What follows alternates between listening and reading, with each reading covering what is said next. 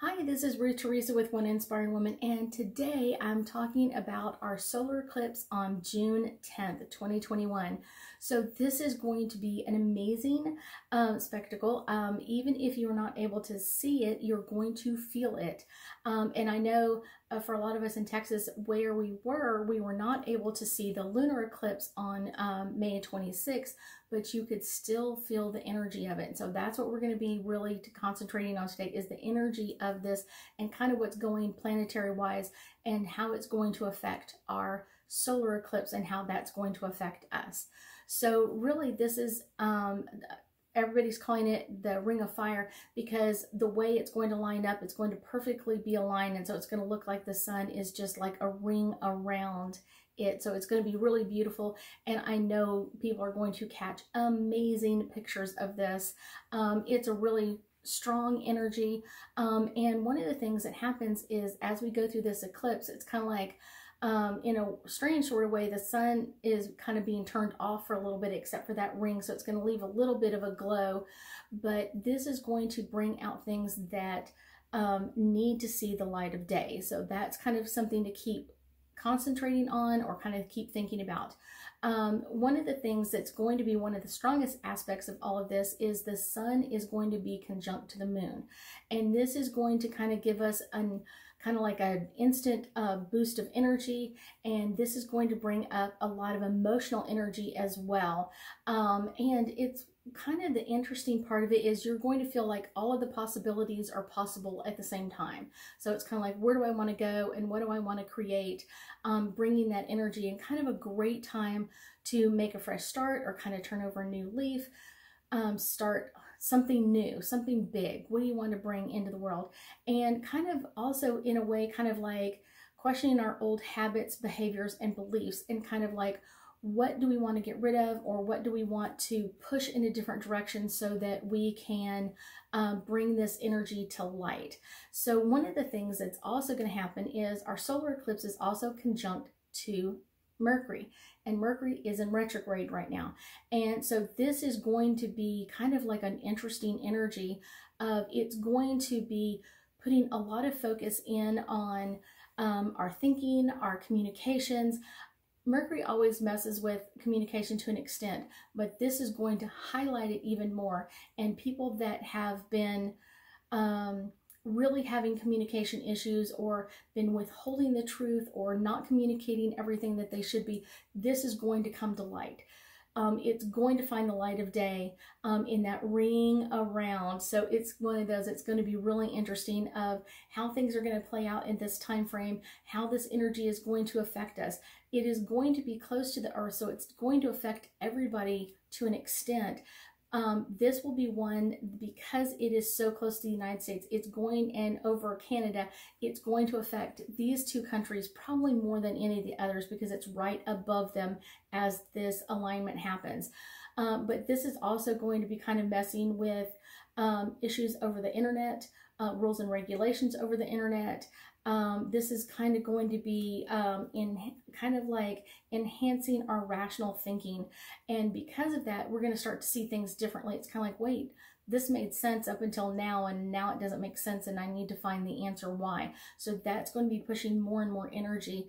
Um, you are going to kind of feel more vulnerable at times and maybe even more um, deception coming out from other people. So maybe something that you start feeling uh, with people around you or people um, near you. But I guarantee you're going to really feel this um, uh, public wise. You're going to feel this like uh, with movie stars, um, political figures, that sort of thing. You're going to find that even more um, because you've got this retrograde um, aspect to this uh, solar eclipse being conjunct with the solar eclipse.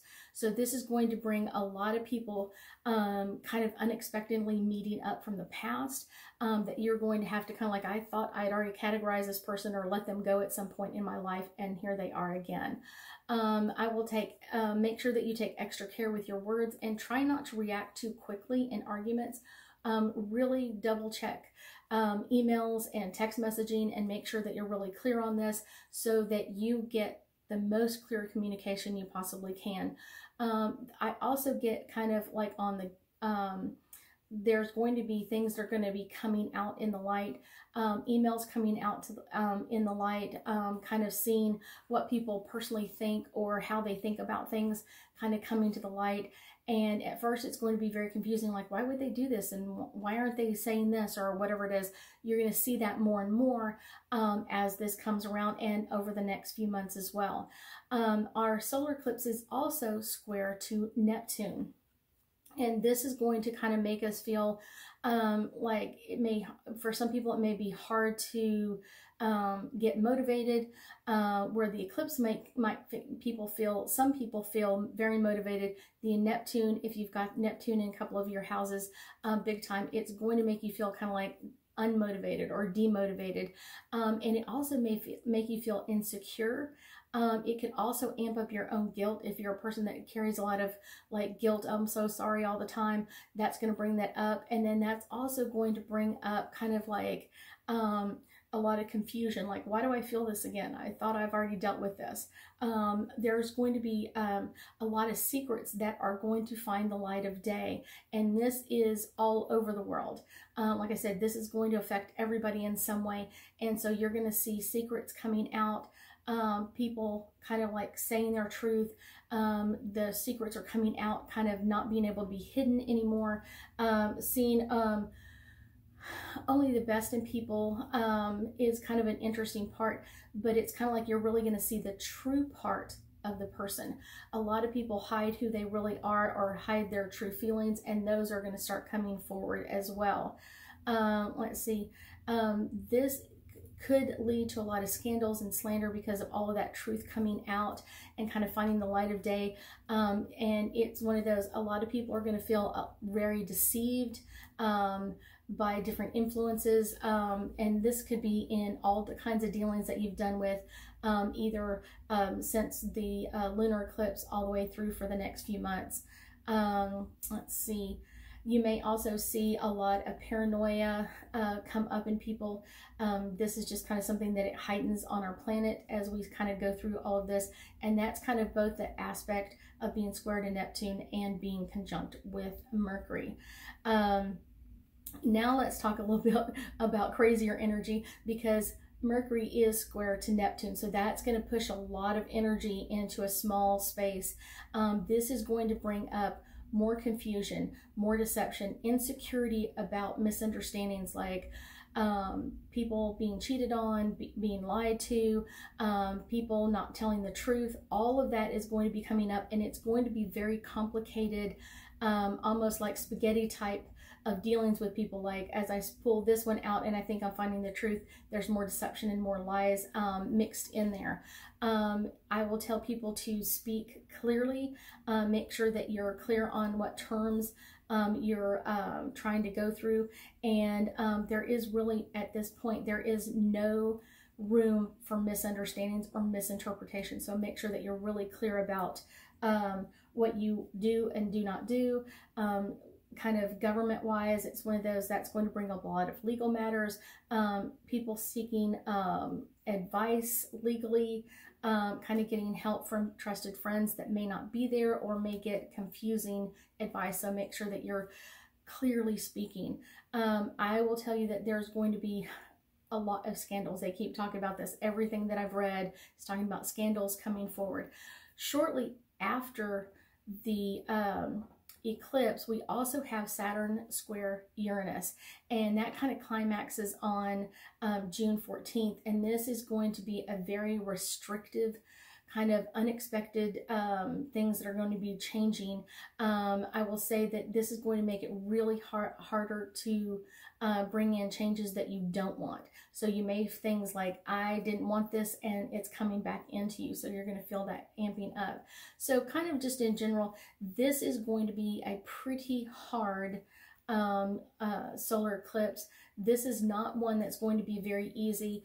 Um, people are going to feel very deceived, um, almost even poisoned by um, other people uh, with their information and technology. Um, it's one of those, there's a lot of of people that are going to that normally feel very self-confident and very encouraged um, that are going to feel the complete opposite. So they are going to feel like out of whack completely.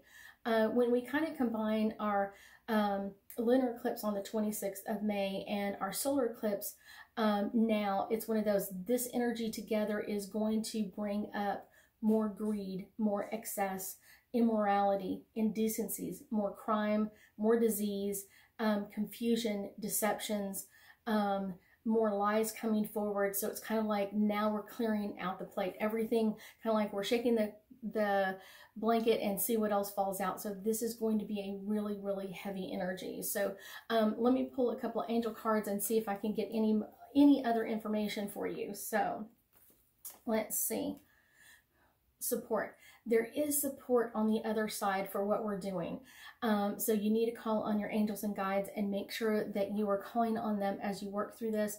Um, the other thing is make sure that you are asking them to look over your text messaging and emailing. And even when you're talking to someone, make sure that you have time to kind of look over things or look at things in a different way. So this one is popping out. So let's do this one, divine guidance this is coming at the right time, not only for our planet, but the right time for each of the countries to kind of let things out, to kind of stop withholding um, information. So I do feel like there's going to be a lot of information rolling forward. There's going to be a lot of truth being told, a lot of things coming to light. Um, and that is going to make us feel kind of like, wow, this is, you know, I knew something was going on, but didn't understand everything that was behind it. So that's one of the things that's going to be really interesting during this time frame. Um, you, uh, setting your intention. It's one of those, if you're working through this personally, if you know you're going to be affected by Mercury and Neptune, if you normally are, these are things that um, are going to affect you more than others. And with the kind of the boost of energy from the solar eclipse, know that your intentions need to be set hard and fast and make sure that you are having clear communication with the other people around you. Let me pull one more card here. Oh, this one's popping out. Study. This is a really good time to kind of take some time to yourself and study, um, almost like study what emails you want to send or what are the words or what can I update or um, upgrade in my words as I communicate with others. It's really, really important. Um, one of the things I will link down below is to my video series, um, Upgrading Your Words. It's really important that we upgrade our words and draw in only the most pristine energy at this time frame. I will tell you personally, this is going to be a really strong eclipse. Um, part of it coming um, over Canada and then part of it over the United States. It is going to be a really, really strong one. And it, like I said, it's going to affect all everybody in some degree, but there are going to be certain people and certain governments that are going to be a, a little bit more exposed than others. And it'll be interesting to kind of see how things play out over the next few months as this energy is still really heightened, like I said, for probably the next three months. It will still be around for a while, but it's going to be really heightened for that first three months, and then it'll kind of start to, to lessen as we go through. So this isn't just like only for this one day, um, be careful of your communication. It's um, for a while, and make sure that you are getting really clear communication um, with coworkers, with bosses, with um, your family members. Make sure that you're getting really clear communication with them. I thank you so much for joining me today, and I know that we'll be talking again soon.